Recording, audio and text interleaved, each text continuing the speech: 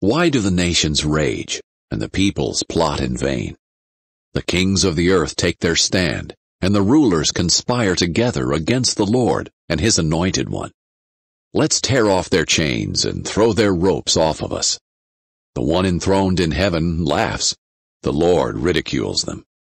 Then he speaks to them in his anger and terrifies them in his wrath. I have installed my king on Zion, my holy mountain. I will declare the Lord's decree. He said to me, You are my son. Today I have become your father. Ask of me, and I will make the nations your inheritance, and the ends of the earth your possession. You will break them with an iron scepter. You will shatter them like pottery. So now, kings, be wise. Receive instruction, you judges of the earth.